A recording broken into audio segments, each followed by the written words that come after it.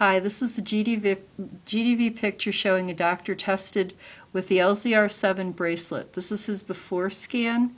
This shows his chakras 6 and 7 being misaligned off to the left. Now we're going to show after the technology.